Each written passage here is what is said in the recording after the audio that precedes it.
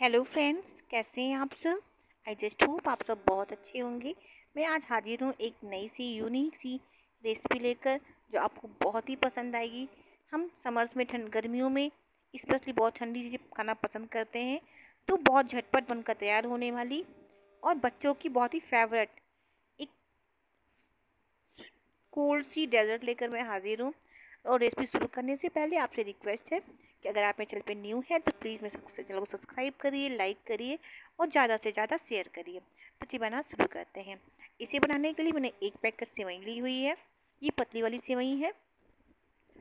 इन सेवइयों को हम बिल्कुल छोटे छोटे टुकड़ों में तोड़ देंगे। बिल्कुल अच्छे से तोड़ना है हमें इसकी, जिससे बिल्कुल छोटे टुकड़ों में टूट जाए। तो सारी सेवइयों को हम ऐसे तोड़ लेंगे। देखिए, सारी सेवइयाँ टूट गई हैं, बिल्कुल बारीक सी हो गई हैं छोटे टुकड़ों में हो गई हैं। अब मैंने गैस पे रख दी एक कढ़ाई और कढ़ाई में मैं डालूँगी दो चम्मच तेल। रिफाइंड ऑयल है, आप घी भी यूज़ कर सकते हैं, लेकिन ऐसा ऑयल ना यूज़ करें जिसमें कोई स्मेल हो। तो मैंने रिफाइंड ऑयल यूज़ किया है। अब इसमें मैं डाल देती हूँ जो मैंने बारीक सेवइयों को क्रश करके रखा हुआ था, उसमें इसमें डाल देती हूँ। और इसमें हमें गोल्डन होने तक रोस्ट करना है। जब तक इनका कलर थोड़ा सा गोल्डन ना हो जाए, तब तक हमें पकाते रहना है। तो कलर आपका भी दिख रहा होगा, चेंज हो गया है, थोड़ा सा कलर गोल्डन दिखने लगा है। अब इसमें हम ऐड कर देते हैं करीब दो तीन चम्मच पिसी हुई चीनी। चीनी आप अपने टेस्ट अकॉर्डिंग ऐड कर सकते कम या ज़्यादा कर सकते हैं। अब मैं इसमें ऐड कर रही हूँ मिल्क पाउडर। मैंने दो तीन चम्मच मिल्क पाउडर यूज़ किया है। मिल्क पाउडर यूज़ करने से क्या होता है कि मावे जैसा टेस्ट आता है। इसलिए मिल्क मिल्क पाउडर मैंने यूज़ किया है। अगर आप मिल्क पाउडर नहीं यूज़ करना चाहते हैं तो आप इसकी भी कर सकते हैं। सारी अच्छे से मिक्स हो गई हैं और इसे में लगातार ब्राउन होने तक पकाना, जिससे हमारी सेवैयाँ मीठी सी हो जाए और उनका फ्लेवर एक मावे जैसे यानी स्वीट सा लगने लगे, तब तक इसे पकाते रहना है।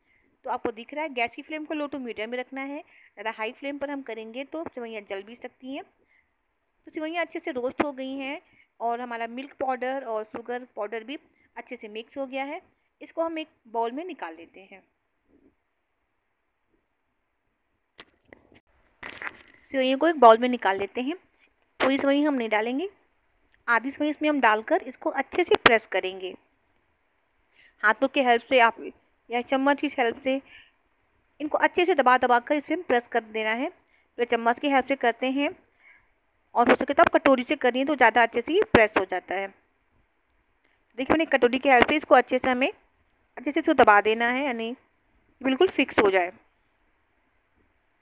अब मैंने कटोरी में दो तीन चम्मच दूध लिया हुआ है और इसमें मैं दो चम्मच के करीब तो उसमें बहुत ज़्यादा है कस्टर्ड को मिक्स कर रही हूँ।